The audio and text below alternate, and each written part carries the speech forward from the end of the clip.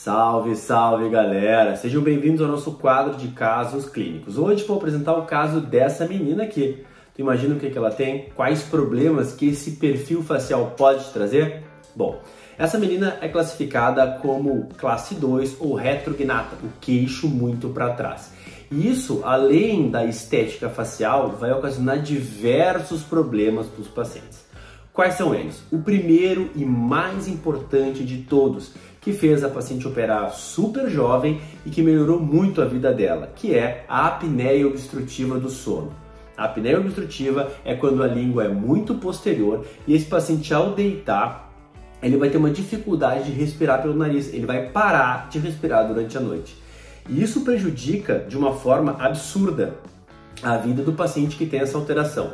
Não somente por acordar durante a noite, só que não ter uma boa noite de sono, não fazer uma noite de sono adequada, e isso pode te levar a ter diversas alterações ao longo do dia e ao longo dos anos na tua vida, como dificuldade de aprendizado, estar sempre cansado, baixa produtividade, tudo isso pode acontecer quando o paciente tem apneia obstrutiva do sono e tem um sono ruim, dorme mal e acaba acordando. Então, esse é um dos problemas que ela tem, a apneia obstrutiva do sono. Além disso, ela também tem uma alteração articular. Como os dentes não estão na posição original, posição que eles deveriam estar, para tentar compensar a mordida, isso dá uma alteração lá na articulação. A articulação vai forçar muito mais do que deveria. Então, essa alteração articular, ela é multifatorial, não é única, não vem exclusiva de algum único fator. Porém, nesse caso, o fator mais forte é o fator de maloclusão, que é a falta de mordida correta. Essa paciente ela tem uma abertura, uns dentes abertos na frente, então ela tem mordida aberta anterior, que a gente fala, o queixo muito para trás. Ela não consegue fechar essa mordida, o ângulo de mordida dela fica muito alterado, isso força muito mais a articulação. Além disso, essa paciente ela não consegue respirar pelo nariz direito, ela, ela respira muito mais pela boca. E por que isso? Porque quando, como ela tem o queixo para trás e a língua desce muito quando o queixo está para trás, para conseguir respirar, ela precisa abrir a boca. E ao abrir a boca, ela acaba respirando muito mais por ali do que pelo nariz. E isso vai ocasionar problemas também como infecções de garganta recorrente, hipertrofia de amígdalas. Por quê? Porque a paciente não está filtrando o ar como deveria.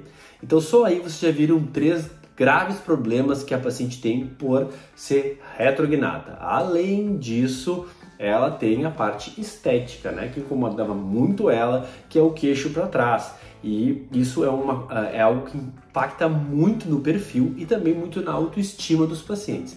Então esse, todos esses fatores levam os pacientes a ter baixa autoestima também, porque também não consegue ter uma boa noite de sono, ah, tem dores articulares. Então é um pacote de alterações que levam o paciente a desenvolver sintomas de, dessas alterações. Então nesse caso o que, que nós fizemos? Como é que se corrige esse tipo de alteração? Nós corrigimos com cirurgia ortognática. Nesse caso especificamente, nós fizemos um avanço bimaxilar, ou seja, nós pegamos tanto a maxila quanto a mandíbula e reposicionamos. Nós giramos a maxila e a mandíbula, botamos os ossos na posição ideal. Por quê? Ela tinha a base óssea alterada e não os dentes alterados de posição. Isso é um erro muito comum de diagnóstico de quem bota aparelho. Não adianta tu botar aparelho para corrigir o dente se o osso está fora de posição.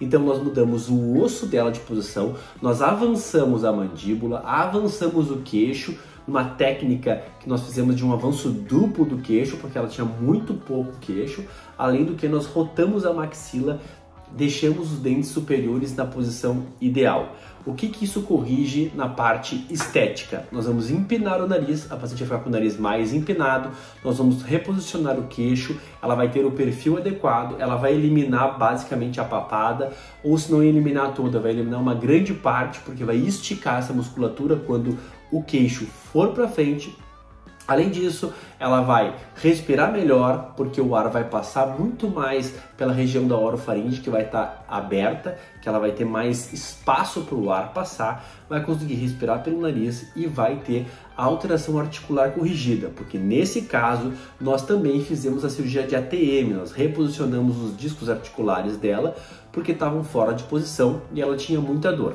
E esse fora de posição, ele se deve ao fato de que ela tinha a mordida muito alterada. Então, nesse caso aqui, nós temos duas semanas e pouco de diferença de pós-operatório. Então, as pessoas pensam muitas vezes que, meu Deus, eu vou fazer uma cirurgia dessas, aí eu vou ficar dias, meses. Não, essa recuperação tem duas, duas semanas e meia e ela já está super bem desinchada e uh, melhorando cada dia mais a sua respiração e suas funções de mastigação, fala e também com a estética totalmente restabelecida, né? O paciente fica muito feliz quando tem esse tipo de resultado. Então, alterações ósseas, alterações de base óssea que nós temos, mau posicionamento das estruturas, não adianta nós corrigirmos com o aparelho dentário. O aparelho ele não projeta o osso, nem bota o osso para trás. Até botar o osso para trás consegue, mas o osso alveolar, não o osso de base. Então, se o paciente tem uma queixa estética facial, ele não vai corrigir com o aparelho. Ele pode corrigir com ortognática.